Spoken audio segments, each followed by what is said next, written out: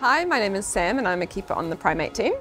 For our animals, welfare is an evidence-based, measurable state that we monitor daily and over time. Good nutrition is strongly linked to both health and behaviour, so let's take a look.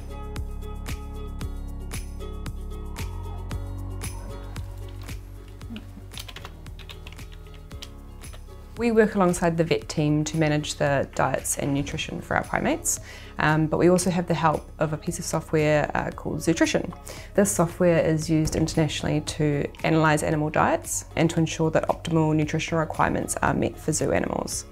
On this side, we've got the Zootrition software, so this is my nutritional analysis.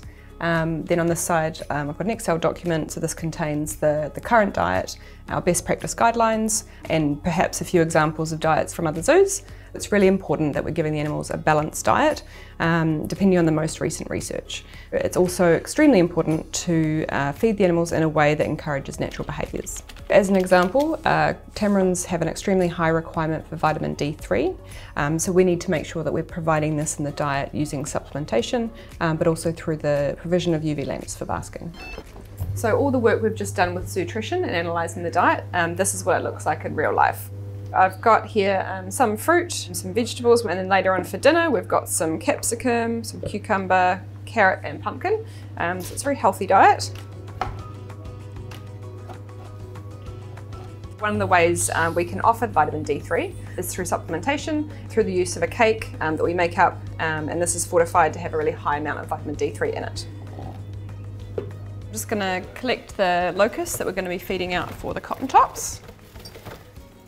Locust fried um, a really good source of protein um, and a little bit of fat, but it's also behaviourally really important because in the wild cotton tops would feed a lot on insects.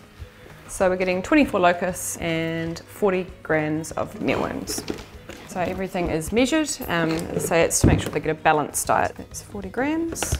Hi! Are you ready for some lunch? Okay.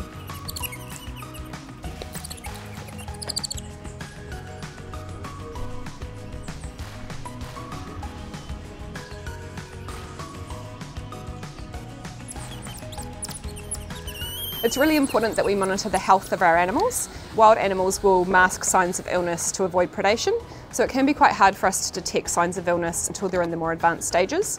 So to mitigate this, we use positive reinforcement training to scale train our animals so we can get a weight and then we can monitor these weights over time and look for trends. So we've just set up for weighing of our squirrel monkeys. So we're going to use some positive reinforcement to get them down on the scales, get an idea of their weight. So we're just getting some off the scales. Once everybody's got a peanut in their hand, it means that we can get one at a time. This is Sayari, good girl. So we're using facial features and coat colour um, and even sometimes behaviour to tell them all apart. We do have 17, so that is quite a few, but with a bit of practice, we can tell who's who.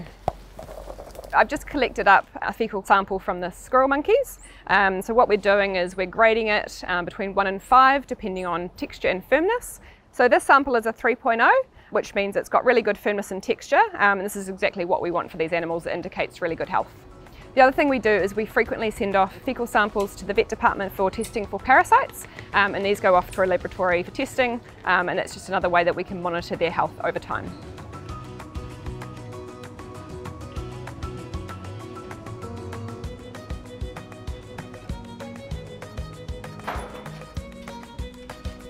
Welcome to our new Siamang habitat uh, where everything was designed with the animal's natural behaviours in mind. So for Siamang, that means an arboreal lifestyle where they can travel, feed and rest all at height. What we're going to do now is put some lunch for them in our arboreal feeders. Um, so I'm going to winch it down, pop the food in and winch it back up so that they can feed at height.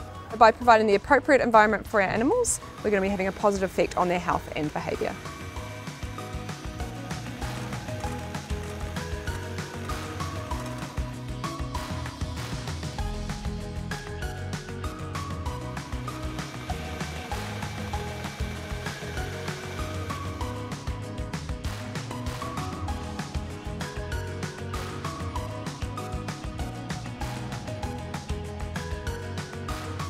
I love seeing our animals happy and healthy and in an environment that provides for their behavioural needs.